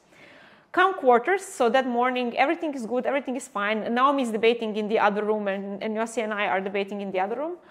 Our internet goes off completely. We try to reboot the server, we try to like reboot like the router, nothing works. So we decide to quickly move to Yossi's apartment and to debate from there. So this was already very, very hectic. I was already shaking. I was not feeling very well. I was so afraid that we are not going to do well, that maybe in his apartment there will also be no internet as well. It's going to be awful. What will happen? So this completely threw me off my game. So the motion call plus the lack of internet really put me in the awful mental space for that round. And the motion comes, and I'm just like, I, I see the draw. And I already know that this is going to be a tough room to basically extend because Biser and Maria, who were our opening, they're going to take all of the obvious stuff. Like they're good. They will cover the ground. They will maybe leave us some scraps. They will maybe not analyze everything in the best way, but they will touch on almost everything which is relevant. And then I see the motion about the Cambridge Analytica, and I love you, Milos, but I really dislike the motion. I think CO, the position which we had to take, was a really tough position in, in that round. I, I think no CO actually went through out of that quarter. Of course, it's a small sample size, but anyway, I think it points to something. Uh, so in the end, the only thing which we could come up with is let's try and run a principal argument. Principal argument in a debate about Cambridge Analytica, this is not something which I would recommend to anyone. From the get-go, you can see why principal arguments are the most important probably in this debate. However, I just felt that there is nothing else to run. Uh, and when the debate ends, I, I just knew that we are not going to go through. There is no way. I thought that other teams were also not that good. So I think that the government teams, I just felt that they were also underwhelming. So I was hoping maybe, maybe that there will be a way in which maybe we can beat opening government and maybe Biser and Maria didn't explain their stuff. Uh, but yeah, in the end, I was just like, I, I knew that we were not going to go through. And also the, the whole prep was very hectic. I could, see, I could hear Naomi in the other room also prepping. So this was also distracting for her, distracting for us. It was really a cursed, a cursed quarterfinals. Yeah, I think we should acknowledge how cringe online debating is in this oh, moment. yes. And how, like, even if everything uh, goes well for you, it's just possible that the electricity stops in your country or uh, some other bullshit like that happens, and you obviously you don't have a backup plan. Like you probably should, but no one yeah. goes uh, and thinks like, oh, we have the second place uh, to go to uh, to go to after that. So yeah, thank God in-person debating is back now. Mm. So given all of this, uh, would you do Worlds again? Oh man, this is a very good question because I have one more Worlds left under my belt. Um, so I, I, I firstly wasn't thinking about this at all. I think after uh, Belgrade, I was like, I'm done. This is it for me. I don't need to prove anything else. We broke as the four best team in the world. Like, uh, I think that I did quite fine. I, I wasn't, I was dissatisfied. However, I wasn't dissatisfied enough to be like, I feel this burning desire to debate again. However, now when the time has actually passed a bit from that experience, I think that there is a small possibility I, I would debate again. Uh, but I, I cannot say for 100% sure because debating at Worlds, it's, it's a huge commitment. It's a huge also emotional toll on you because it's quite stressful, the adrenaline is there, it, it can go both ways and regardless of how good you are, you can, you can always just like perform very badly because the motions aren't good, the judging isn't good or something like that, or just like you, you are not in the well, in a good mental head, uh, headspace. Um, so I'm not sure, I'm not sure. Uh, I can give you structural reasons as to why you should do it. But uh, look, ultimately it is your decision. But um, I feel like uh, the debating, like outside of your uh, personal perspective, which is the ultimately the most important thing, but the debating community will benefit if they see you. And it's not uh, just even about uh, the whole conversation we had about being a woman and stuff like that. I really think you are a very fired speaker, honestly. I, I, I uh, at, the, at the last Worlds, I, I didn't particularly uh, enjoy rounds where teams didn't try to, to basically give everything and even, you know, maybe hurt themselves in the process in order to do this, for lack of a better word. word. And uh, I did two comps uh, afterwards, and uh, to be honest, very rarely did I, I actually face like teams that made me do this. So, uh, from my point of view, I think you should do it. Uh, oh, yeah. You know what's the other thing? I feel like I'm maybe too old for that. So I, I kind of resonate with something which Helena said at the podcast when she was here that at, at a point it comes a time for you to allow to younger people to step in and to maybe enjoy it and to maybe be a part of it and maybe not your voice over crowding their voices as well. So I think I have also this uh, as a reservation. I, I will be old. I'm already an old debater at this point. However, I feel that I'm here now to mostly coach, which is fine. I, I don't mind being an old coach. Uh, but yeah, this is another thing which is kind of bothering me. Maybe I'm too old. To let, let me let me argue with this on you because I, I don't agree with you here. Okay, Uh, why? Well, like life is super boring. I don't know how else to say it. Like we, you you get the degree, you get the job, you stabilize, you then proceed to do many things. And people need hobbies. People need to find some kind of meaning in. Uh, uh, in their in their life, and uh, to be honest, I think only a very small subset of people who operate in debating, this could be an elitist thing that I say, maybe, uh, really feel the game. Like when they go into the debate, uh, this is how I feel. I feel like I forget everything. I forget my life. I forget my my job. I forget. Uh, about my commitments and stuff like that, and even around uh, between Belgrade and Zagreb, I felt like I was in a movie series uh, that's about this, and I lived for debating and I breathed debating, and yeah, so I, I feel like if you really, really feel it, age age is not a age is not a limit. Like this is complete bullshit. Uh, uh, like you should be able to have a hobby. You should be able to enjoy it, and uh, basically fuck uh, fuck the younger kids. They need to improve. no, for real. Like uh, get better. If uh, if that's the case, uh, like this this should this sport should be elevating competition towards the maximum so that we have like it's so nice to, to hear a good speech it's so nice to see a, a great debate it's so nice to have these moments that uh, uh, basically make us like that makes the game better but makes us as human beings like enjoy life I, I can't say it in a different way so like I, I- can't agree with you here i think you should do it and like this shouldn't be a reason why you shouldn't do it Yeah, I, I will definitely take it into a consideration. I think for now, the thing which kind of gives me the most pleasure is actually coaching. I think coaching is something which it is so nice to see that actually your advices can help someone become a better speaker. It is so nice to be able to track the improvement of people that you coach, to see when you say something and they're like, aha, okay, this makes sense, and when you actually can enlighten them in a way. Uh, so I think this is something which I now prefer to do a lot more. I think probably this is my favorite activity at the moment, and this is something which I try to fill in my time. What I would say is I, I agree with you regarding the adult life being very boring. so I don't think that I will stop with debating anytime soon, in the sense of this is my hobby and I like coaching still. Uh, but yeah, for roles for speaking, this is something which I would have to think about. Yeah. I, yeah But co- coaching, coaching gives you this pleasure, as you said. Like you kind of feel like a parent Yes. to, to, to some extent of, of these kids, and you have like just a lot of kids. Uh, and and if, if if they give back to you in terms of and not just being grateful, but like like improving genuinely, helping somebody life. I think this is. Uh, so so isis told me you serbs have a concept of like debate mother and father Yeah. yeah yeah, yeah. could you could you elaborate more on this Yeah. So basically, the idea is that at every course you have to have two coaches, and the two coaches have to have different energies. So this isn't inherently that you need to have a female and a male coach. It's just like about the female nurturing energy and then the man tough up energy. So these two energies, you, you you need to have them both. So you need to have someone who's going to be like, oh, it's good, everything is going to be okay, and then you have to have someone who's going to be no strict, very like you have to do this, yeah. And so these two types of energies, this is something that we try to emulate at our course. Whenever, whenever you have a, a perfect energy match, uh, you have the best course. That's what we like. Our generation had like a very disapproving father in the Sugaris, uh, which was like uh, he was nice, but like he was nice in like how your dad is gonna be nice in the Balkans. Like Yeah. uh, it's like you will need to fight for his approval. And Mika was like, oh, kids, like I love you, like we are very good, good friends. So both of them uh, helped, uh, like very uh, helped you at various stages or something like this, and trying to to to emulate uh, this is very important. Like uh, Yeah. which is. Uh, So, so what is your energy? Oh, I think I have a mom energy, definitely. I'm like, oh, my kids, you're so good. However, I think I'm probably a demanding mother, so I give a lot of love. However, I, ex- I expect a lot of back, so I have high expectations for everyone that I coach.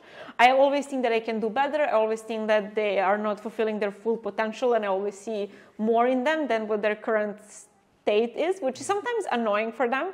Uh, because I'm like never fully satisfied. But I think this is a way to kind of push them. Of course, I'm never going to be fully satisfied because I know you, I love you, and expect expect the world out of you. Uh, so I would say mom energy, but harsh mom energy. Harsh mom energy. Harsh mom energy, yeah.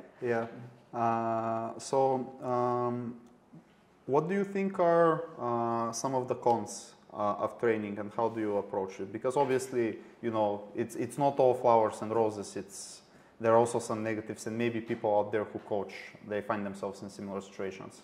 So I think there are different challenges that you face. First one is how to translate something which you do intuitively into something that you can actually explain to them. This is something that I talk with Harish, and he also finds this very hard when he coaches his kids. It's fi- it's figuring out what you do well and then explaining how someone else can emulate that. That's quite a tough task, and it isn't as easy as it seems. You can just, for example, when I started, I could just see what they need to do better. However, I struggle to explain it to them and to actually put it into concepts that they can understand. So there's a lot of trial and error there. Uh, I think other thing is uh, other challenge is just like like making sure that there is enough encouragement and enough harsh criticism so that there is like a good middle in between so they don't feel too coddled however that they don't feel that we are just like like telling that they're trash and what they need to do differently. So I think this is another challenge. This often can be quite tough. This is why I think having multiple coaches is good because then someone can be a good cup, someone can be bad cup. So these type of energies can uh, kind of mix and kind of make a balance. Uh, also, there's like whenever people do not come to a course, you kind of take it personally. Like maybe they gave up because of you. So keeping up with how many people are coming and uh, do they like this or not? This is something which which you often can take very personally.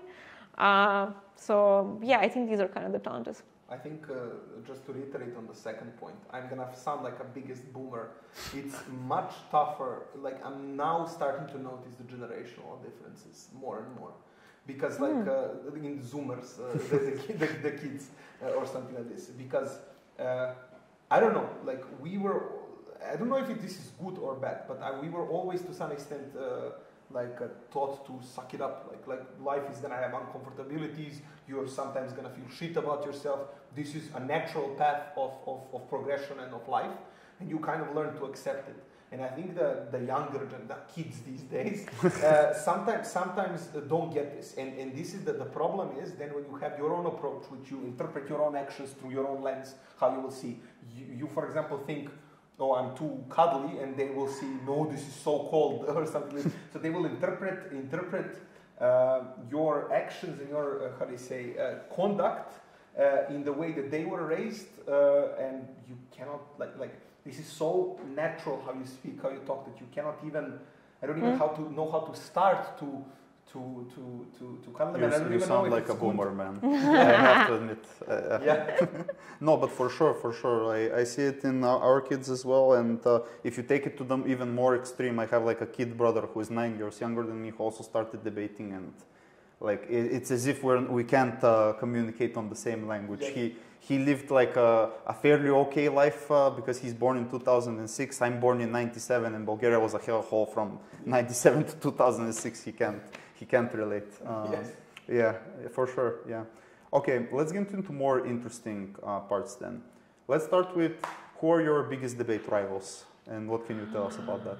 Ooh, my biggest debate rivals. I've never thought about like rivalry in that way, specifically because I, I don't know. I, I think I like most of the people that I debate against. Uh, I think generally people who are very cocky, I think these are my biggest debate rivals. Uh, but specifically, uh, debate rivals. I, don't, I like debating against you two guys, against you Nikki. This is something which I quite like because you also have the fire which you, you see in me. I also see the fire in you, so this is quite good.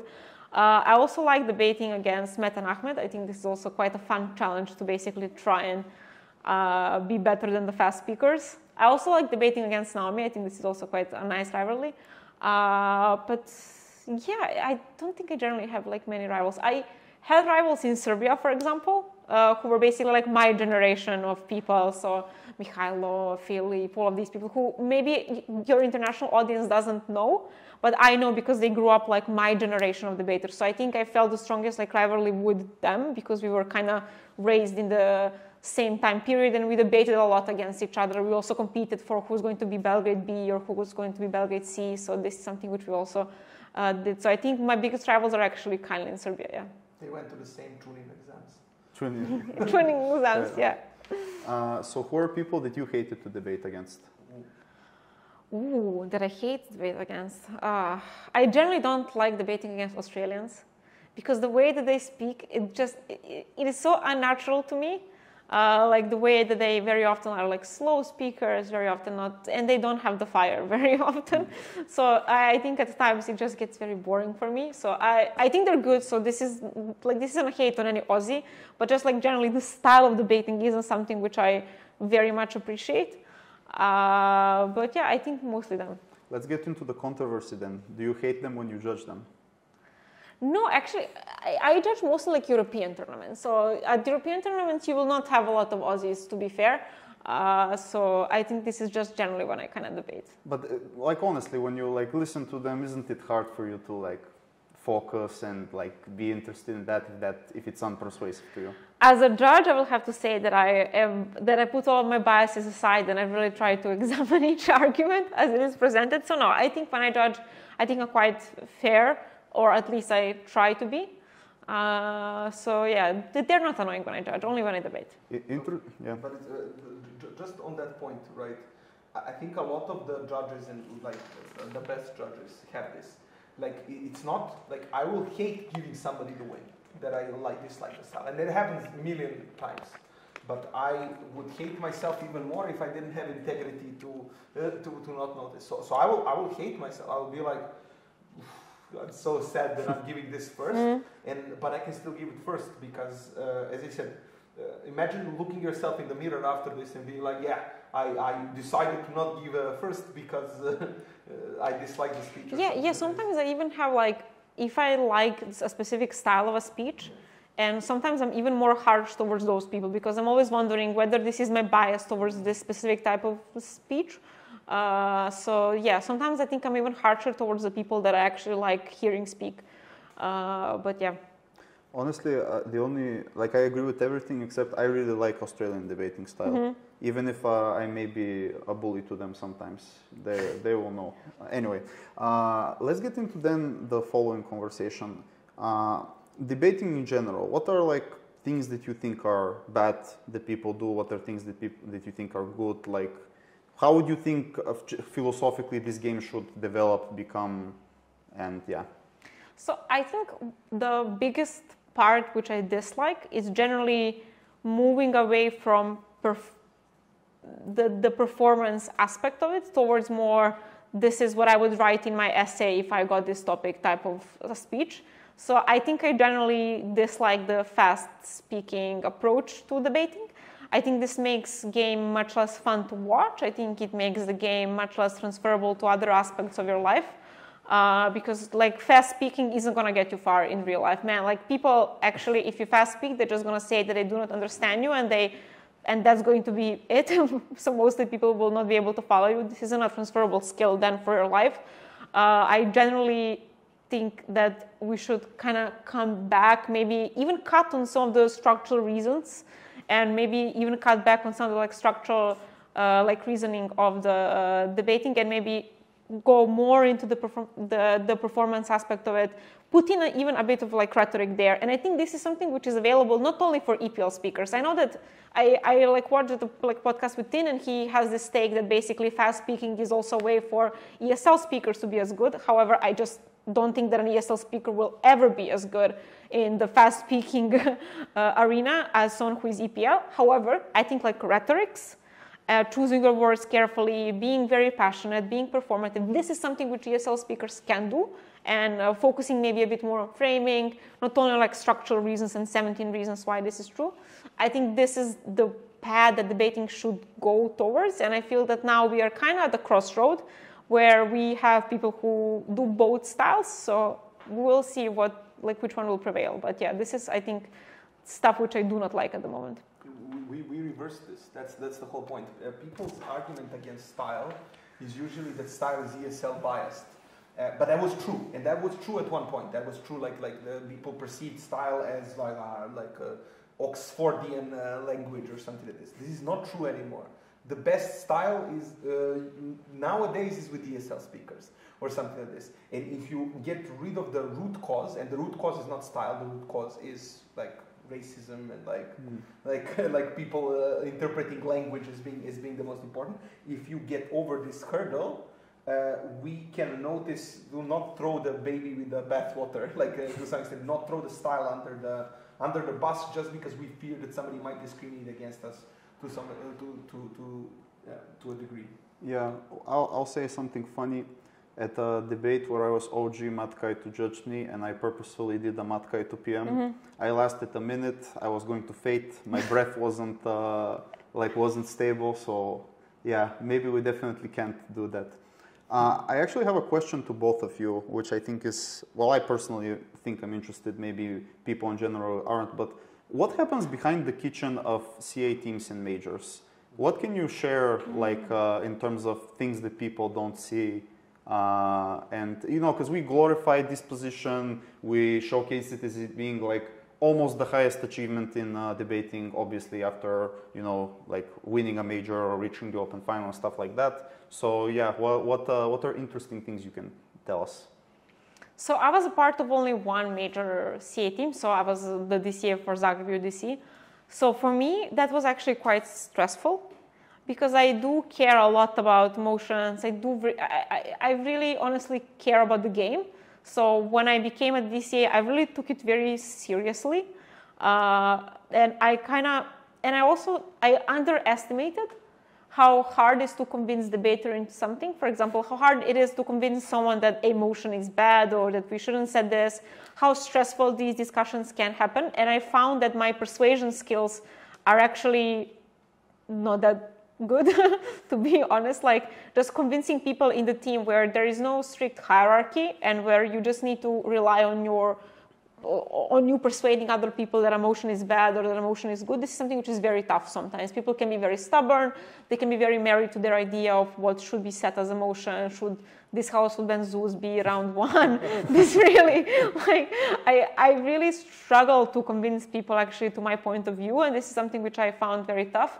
The benefit of it is I think it's really nice to work in a team. Uh, I think debating is a team sport. However, when you win in a debate, you win with your partner, and that's it when you do a good major, you win it with five or six other people. So this is quite a nice feeling that we are doing something jointly, uh, that we are doing something for the whole community and something that we care about. This is a very nice part, and this is a part which I like. However, the motion discussions and everything, this really was very stressful and not something which I enjoyed particularly. I had different luck. My, my CA team experiences in terms of uh, motion setting and everything was great. My takeaway is that a lot of people don't even try to understand uh, and have empathy for what's going on behind the stage right everybody has some problem and everybody thinks that their problem is the center of the tournament that everybody should care now about this and this is especially in the online era where you have the how do you say uh, the um, not opportunity but where you where you can write everything in discord and everything like this the self-centeredness of, of people and how they look is, is, is insane. Especially in the sense where you cannot really have, like, for example, God bless that we had Entin for Belgrade, right? Uh, that she, she can write a very fast statements or something like this. If you don't have somebody who can write fast statements that says, that explain to people what is the situation, Oftentimes people just trash you. Why is the draw taking half an hour? You were all late. No, we're not late. You just don't know that the process takes half an hour and we baked it into the cake of the, of the motion. People oftentimes are very quick to, to jump on your back and to jump on the, on, the thing uh, uh, that, that, that is happening. So that's one, especially uh, when it comes to some of the decisions that people don't understand. Let's say DCA applications or something. I was part of two DCA selections uh, or something like this. People have their own ideas. Uh, oh, this person should be this. And usually it's a popularity contest in minds of people. Ah, this person and this person, this person. I know these people and I don't know this uh, uh, third guy. So no, uh, this should be the team. Oh, how did you not select this team? Well, there is a process. Somebody wrote an application which you didn't read. You don't know what is the application. Somebody wrote feedback, which you don't know what they wrote. Like I, have received so much darkness and I've seen so many things people don't know. Then people will trash you. Ah, why did you not select this person? That we didn't because there were things that made us choose this, this or that. So people are often very quick to uh, to think that there's very easy solutions to the problems that are happening, and not necessarily understand what's the what's the, the, the story behind it. And I oftentimes see. Uh, CA team and Orcom like a um, showrunners. Basically, you're a production company. Basically, you're running a show that everybody's participating in, right? Like, like that you need to entertain the best debaters, that they have the, the you're determining the world champion or something like this, but at the same time that people along the way have the opportunity to grow, to learn, to do almost something like this. And this is the crucial thing. It's not about being the, the, the, the CA, so you can say, oh, I'm a big CA guy, uh, great, I'm, I'm, so, so wonderful, everybody's gonna say. No, you need to, to some extent, have a vision. If you don't have a vision, you're just there to stroke your own ego, and usually these CA teams fall apart the quickest. If you have a strong vision, for example, that's why it was easiest thing in the world to work with Dan and Sharmila. They had a vision. They knew Dan wanted to run the best Euros possible and he knew what he wanted to do. He was open, obviously, to discuss it, but he had a purpose of being a CA team. It was not just I am Dan Lahav, I'm gonna like uh, validate myself. Like it's kind of like uh, you don't get validation, you don't get uh, validation from uh, becoming and shouting and being like I'm the boss man of this tournament. You actually get validation when you have a vision and you execute that vision of the tournament.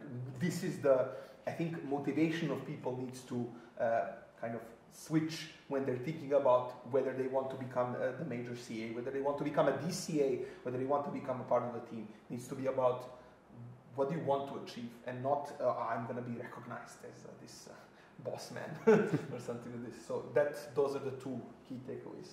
No, for sure. We we need to, I think, as people uh, in general, have more empathy mm. to uh, people outside of our circumstances because we really don't know. We don't know uh, like, uh, for example, uh, like everyone laughed and make me, made memes when Shermay was like uh, kicked out from Madrid. But like for real, guys, just think about how how bad of a process that might have been to the CA panel.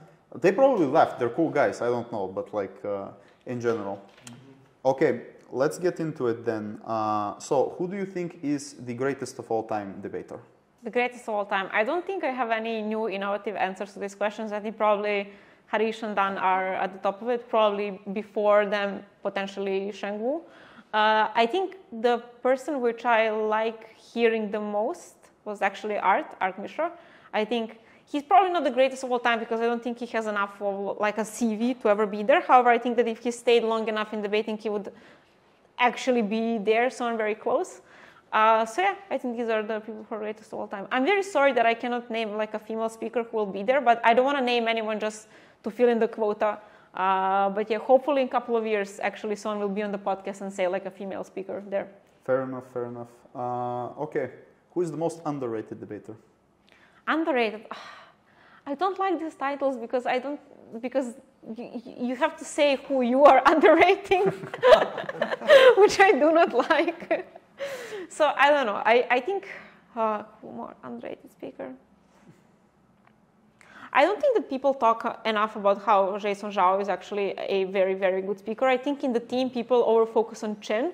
However, Chin is basically a performance artist. However, all of the legwork for their case is actually built in like Jason's speeches, like all of the structural reasons, all of the mechanics, all of the mechanisms basically are done in actually like Jason Zhao's speech and not basically in Chin. I, I think like a similar analogy can maybe like being pinpointed to you and Nikki. You do all of the structure work, and then Nikki just goes there and does theatrics. Like theatrics, I love and are and are actually very much appreciated. However, I think that basically people maybe don't. I recently started doing theatrics too. Really? Yes. Yeah, but uh, yeah, to, yeah. So yeah, so I said probably like Jason Zhao, yeah. Yeah, yeah, uh, for for sure, for sure. Uh, I wanted to ask about Ilya, um, since uh, this is my personal opinion. The, he is the greatest judge in the world to me. Mm-hmm. Uh, I, I, I really uh, like his judging, but he's also you know deadly speaker and uh, stuff like that. Do you think like um, I'm using him, his, uh, him, as an example, but do you think that uh, we, to a large extent, uh, don't look at certain examples who existed in Serbian community because uh, maybe they didn't have the opportunity to go so much to majors? Uh, and how would you comment that? So I think generally it is really hard to be the greatest in the Serbian community because we have such a high bar basically for that. So in comparison to other Serbian speakers, someone who is a bit less accomplished will not look as impressive. Uh, but I think definitely Ilya is one of the best Serbian speakers ever. I think he just had bad luck at majors. So as far as I heard, every major story that he told me looks like a disaster. So I think he just was one of those people who are unlucky. Uh, I think he is mature enough to not let this get to him a lot, but yeah, and I think also Milos mentioned in his podcast like Nikola Sugaris, who is also one of like the probably one of the best debaters in Serbia ever, but he's underachieved if, if, if, if, you look at it in the way of purely what's on paper. Also, I think uh, Isis Ognjen, so who was debating with uh, who was debating with Janko, I think he is also one of the he's one of the smartest people I've ever met. So probably he's also one of the underrated guys because he didn't stay in competitive debating for that long. So yeah. Yeah, if he stayed, he would be potentially greatest Serbian yeah. debater of all time. So if he put in. I, I will say something very non-PC uh, you Serbs are very crazy people.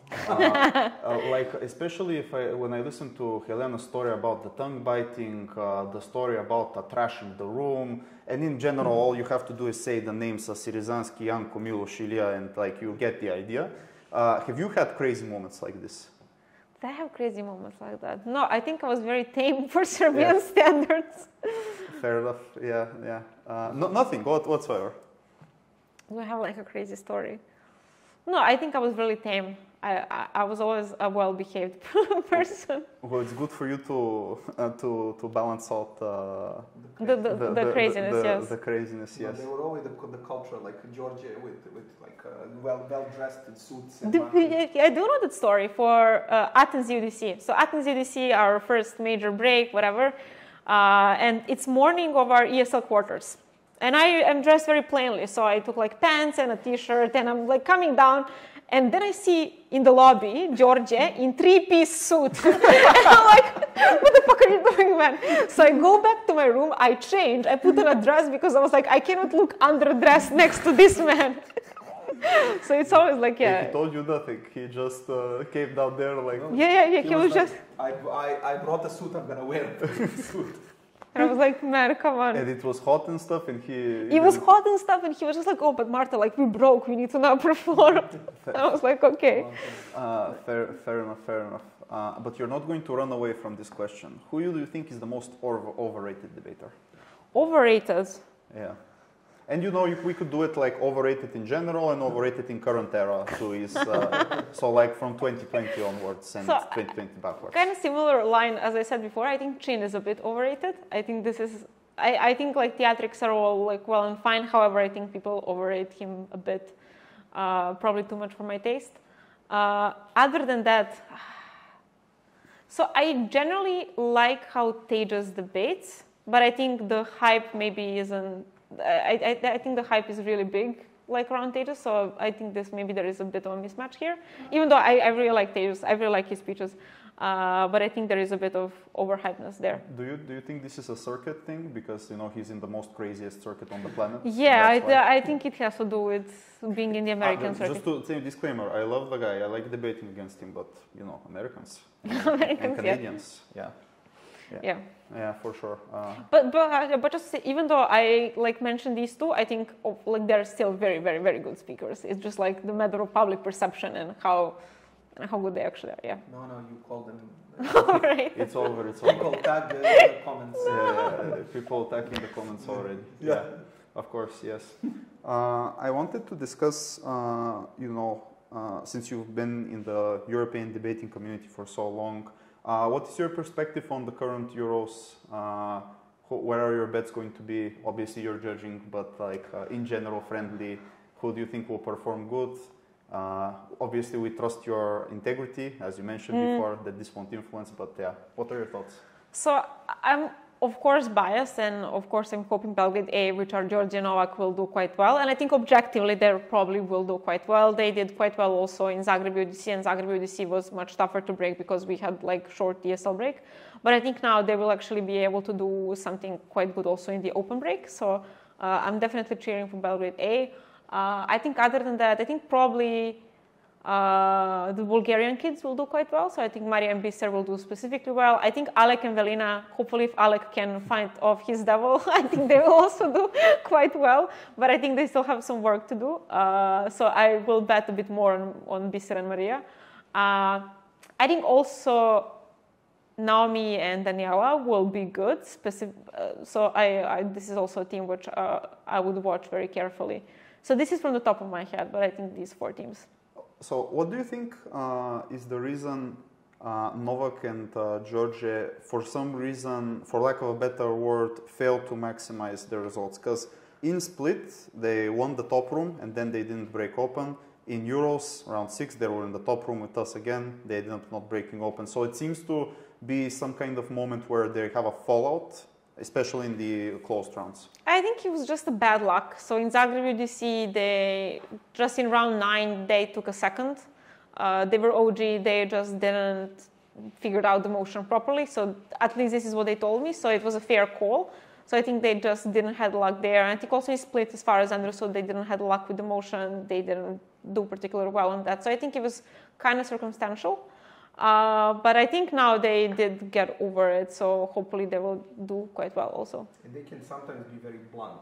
That's the problem. Yes. They're very like a cave, a caveman, like So- like you two. So for, basically, sometimes it can be like So, for example, in the ESL final in, uh, in Zagreb, the case which they ran about religion making you a bad person, this is actually a case which I think can be done quite well. However, the way in which they said it was so ooga booga and so blunt that whoever has any like religious belief would be very, uh, they would feel bad. Uh, so I think like the bluntness and a bit more of like rhetoric is something which maybe they're a bit missing. But I think like they're working on this, and I think it's getting better. I think honestly, this is our circuit's biggest strength and biggest weakness at the same Yes. time. It's very funny how there is this whole reality check moment. Come on, guys, this is not how real life works. And at the same time, you talk about the priest uh, having driving uh, uh, a G-class Mercedes, and uh, like the, a person Yes. from Israel, Western Europe, is going to go, "What are you talking about, man? What is this?" You know, we know because this is what we live, but yeah, yeah, for for sure, for sure. Okay. Uh, well, um, we've reached more or less like um, the final part. So what we do in this moment is we hand uh, the word to you, so you can talk about whatever you'd like. It could be debating in general, message that you may have, personal story. Like the floor is yours. Uh, you can do whatever you want with it. So I, I don't have anything specific that I would just like to say, but I just want to give like a general message regarding what debating actually is about. I don't think that at the end of the day is actually about what you achieve on paper and how well you do on majors. I think it really comes down to everything, like everything that you learned along the way, the friends that you made. I know this sounds cliche, but I think it's it's very very true. And I think that the community and all the lessons which you learn about yourself, about the world, about other people, about competitiveness, all of this is something which is so enormously important, even if you never break at an international tournament ever. And I think that like these lessons that you learn along the way are the most important things. So whoever looks at people who come to your podcast and is like, oh, but debating was good for them because they achieved stuff and I didn't. I think this is a wrong way to look at it and, and to approach it. I think a better way is just to basically acknowledge that this is a very, very, very fun hobby and a game that can help you learn a lot. It matters a lot. It's a still it's still a game, but it matters a lot and it can help you grow and become a much better person than you were than you would be without it.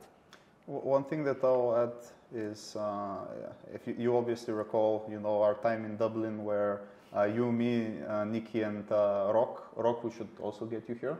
uh, you know, we spent. Uh, uh, basically, the story is after the day one is done with the, the four rounds. We like people go around. We don't know what's going on because it's Dublin, and we meet you. No, first we meet Rock actually, then we meet you, and we start blah blah blah in our uh, very similar but a bit different languages.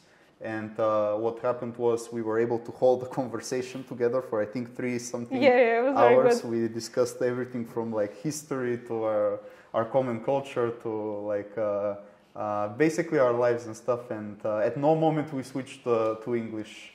I, I think some there was something with the cab guy. What, what Yeah, did the yeah, cab basi- guy do? I, I think the cab guy was very freaked out because we, we all spoke in a different language. yeah, the cab the cab guy was the cab guy was very confused because it, it obviously sounds a bit different. It, it's uh, we make sense of it, but like the cab guy doesn't make sense. Anything, Yeah, he but- was very confused. Yeah, but uh, no, because uh, to me, you, you know, it, um, like when I started debating, I, uh, I, I, I, you guys were a bit foreign to me uh, because you know uh, Serbs, Croats, and uh, stuff like that, and Slovenians. But like uh, after that moment, like I really felt uh, a genuinely warm, warm feeling, and uh, I think after that, I, I, I personally, and I think Nikki would also agree, we got very closer with uh, all of you guys. So it's it's a great hobby, and w- you make very good uh, friendships that if you if you can, like they can last forever. And it's uh, it's a superb, uh, it's a truly superb moment. Yeah. Yeah. Okay. Uh, well, thank you, thank you very much, both of you. Thank you for Uh, having us. yeah, we will we'll may, we may do something next year uh, as well. Like uh, uh, maybe we'll have also some other uh, Serbs uh, with some interesting takes. Uh, and yeah, yeah, it was a pleasure. Yeah. Thank you. Thank, Thank you, guys. And I'd- I can shake. Yeah.